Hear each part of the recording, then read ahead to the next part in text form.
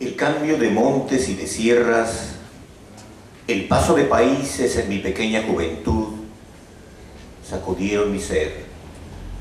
Y el libro que busqué son recuentos de las letras y sus destierros. Además de los sueños, opté por ver la realidad con otros ojos, para no llenarlos de secular tristeza y luto, que muchas veces golpearon mi puerta. Inventaba seres mitológicos para llevar el dolor sin dolor a cuestas, de tanto peregrinar con sus consecuencias. Tiempo después, volví a Chile y a sus bellezas. Encontré en mi paso a mi gente y sus letras, que de una forma tan noble llevaban sus raíces a cuestas.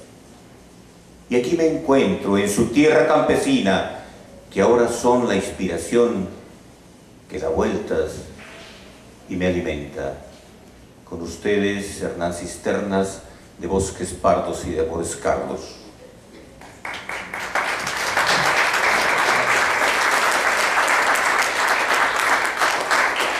De Bosques Pardos y de Amores Cardos. Hace como unos siete años empecé a escribir justamente para olvidar algunos traumas que todos llevamos adentro. Uno de esos traumas fue cuando mi padre, siendo asesor de Salvador Allende, lo toman preso, desaparece durante tres meses y aparece en el Estadio Nacional.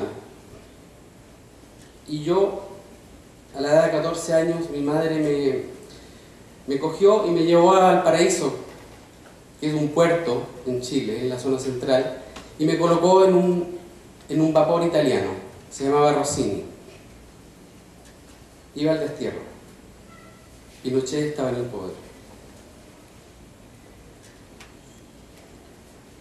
Del Rossini al destierro, año 1974. En tus casas arrinconadas por el tiempo lustré de temores tus faroles con el miedo a cuestas por mi pequeña infancia seguía en penumbras.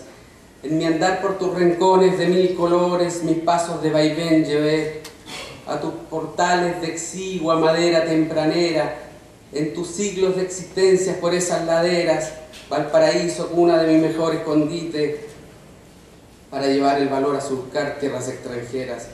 Anclada y con madrugadora, mojé mis mejillas por tan lustrado momento, Acaricié tus vetustos pasillos y amarillos candiles al pisar tus huellas pasadas por miles.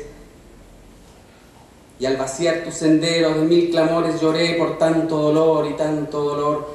Del recuerdo amargo por el instante de fulgores, empeños por la vida, nadé al sepelio de nacer por segunda vez y vieron pisar mis pasos al destierro por única vez. Rossini, vapor de bandera italiana llevó mis piltrafas sin familia cuestas por los mares del Pacífico Sur y, sus olas y vaivenes.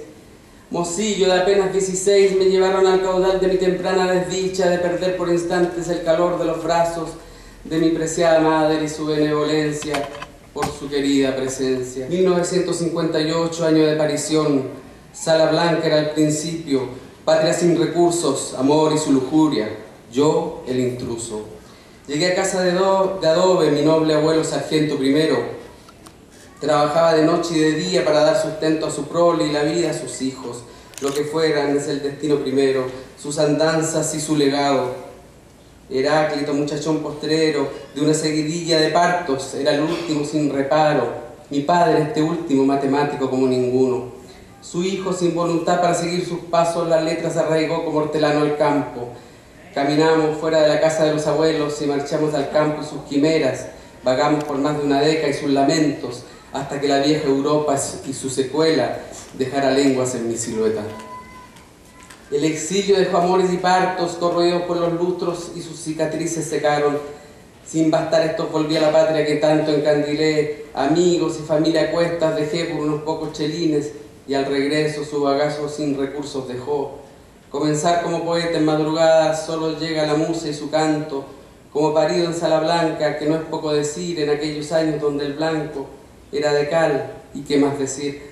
La matrona que me recibió estas palabras le salió, Parece el pobre chiquito como Blanquito, pelado como el hijo de don Venancio. Hernán será su nombre y la poesía será su encanto. Gracias.